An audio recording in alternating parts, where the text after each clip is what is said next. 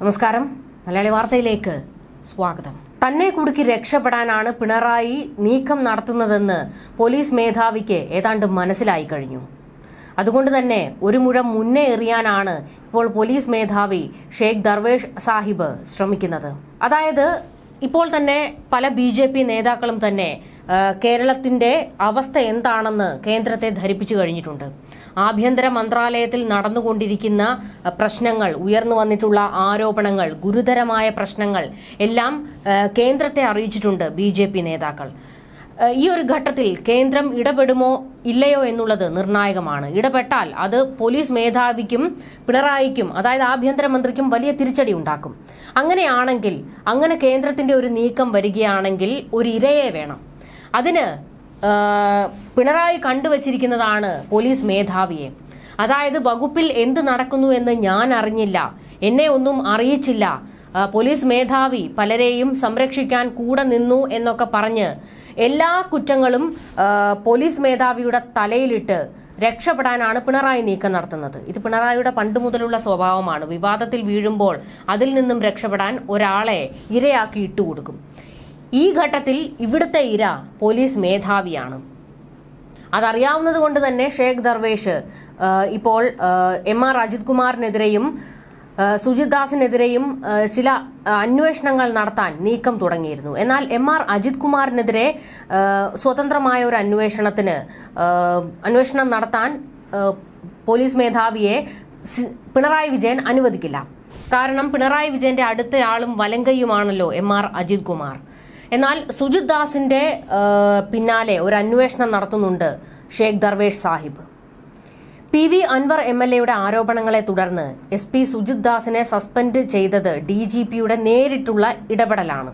Malappuram S P ഓഫീസിൽ നിന്ന് സുജിത് ദാസ് ചുമതലയിലുണ്ടായിരുന്ന കാലത്തെ വിവരങ്ങൾ D G P doctor Sheikh Darvesh Sahib ശേഖരിച്ചിരുന്നു.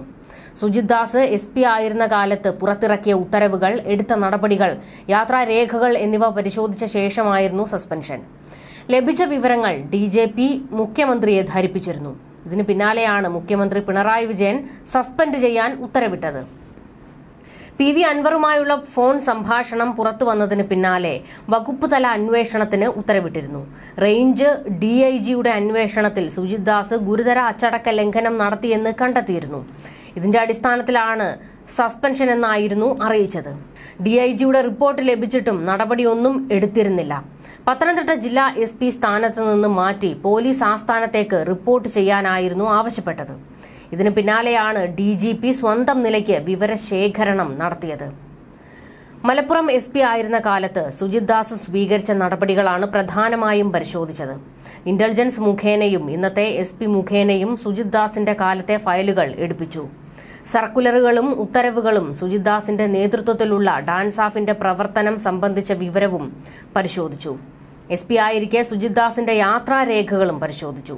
Sujith ദാസിന്റെ ആളുകളായി അറിയപ്പെടുന്ന സി ഐമാരുടെയും എസ് ഐമാരുടെയും വിവരം ശേഖരിച്ചു. പുതിയ എസ് പി ചുമതല ഏറ്റതിന് പിന്നാലെ ഇവരിൽ പലരും നടപടി നേരിട്ടു. മണ്ണ് ക്വാറി മാഫിയയുമായി ബന്ധത്തിന്റെ പേരിൽ നടപടി നേരിടുന്നവരാണ് ഇവരെന്നാണ് ഡി ജി പിയുടെ കണ്ടെത്തൽ. എന്തായാലും സുജിത്ദാസിന്റെ പിന്നാലെ പോയി സ്വന്തം നിലയ്ക്ക് ഡി ജി പി ഒരു അന്വേഷണം നടത്തിയിട്ടുണ്ട്. എം ആർ അജിത് കുമാറിന്റെ കാര്യത്തിലും ഇത്തരത്തിലൊരു അന്വേഷണം നടത്താനാണ് ഡി ജി പി ശ്രമിക്കുന്നത്. എന്നാൽ പിണറായി വിജയനെ മറികടന്നുകൊണ്ട് അതിന് സാധിക്കില്ല. എങ്ങനെയാണെങ്കിലും പിണറായി വിജയൻ എം ആർ അജിത് കുമാറിനെയും രക്ഷിച്ചെടുത്ത് പോലീസ് മേധാവിയെ കുടുക്കി ഇട്ടുകളയും കേന്ദ്രത്തിന് മുന്നിൽ വലിച്ചെറിയുകയും ചെയ്യും. ഇത് വ്യക്തമായി അറിയാവുന്നതുകൊണ്ടാണ് പോലീസ് മേധാവി ഒരു മുഴം മുന്നേറിയാണ് നോക്കുന്നത്. ഇത് മാത്രമല്ല ഇപ്പോൾ സ്വർണക്കടത്തിന്റെ പേരിൽ ആരോപണം വന്നു സ്വത്ത് സമ്പാദനത്തിന്റെ പേരിൽ ആരോപണം വന്നു. ഇതിനെല്ലാം വെട്ടിമാറ്റിക്കൊണ്ട് ഇപ്പോൾ പോലീസ് മേഖലയിലെ പീഡന വിവരങ്ങളെക്കുറിച്ചുള്ള പെണ്ണ് കേസുകൾ ഉൾപ്പെടെ പുറത്തേക്ക് വരികയാണ്. എന്നാൽ പിണറായി വിജയനെതിരെ എന്തെങ്കിലും ഒരു നടപടി കേന്ദ്രത്തിൽ നിന്നും ഉണ്ടാകുമോ എന്നുള്ളതും നിർണായകമാണ്. കാരണം പിണറായിയും മോദിയും കട്ട ചങ്കുകളാണല്ലോ അതുകൊണ്ട് ഒരു നടപടി ഉണ്ടാകുമോ എന്നുള്ളതും ചോദ്യമാണ്. പക്ഷേ കേരളത്തിൽ നിന്ന് ശക്തമായ രീതിയിലാണ് ബി ജെ പി നേതാക്കൾ കേന്ദ്രത്തിൽ സമീപിച്ചിരിക്കുന്നത്. അതുകൊണ്ട് ആരുടെയെങ്കിലുമൊക്കെ കണ്ണിൽ പൊടിയിടാൻ വേണ്ടിയെങ്കിലും ഒരു അന്വേഷണം കേന്ദ്രത്തിന് പ്രഖ്യാപിക്കേണ്ടി വന്നാൽ പിണറായി എന്തായാലും രക്ഷപ്പെടും. പോലീസ് മേധാവിയുടെ അവസ്ഥ എന്തായിരിക്കുമെന്ന് കാത്തിരുന്ന് കാണണം. ന്യൂസ് ഡെസ്ക് മലയാളി വാർത്ത.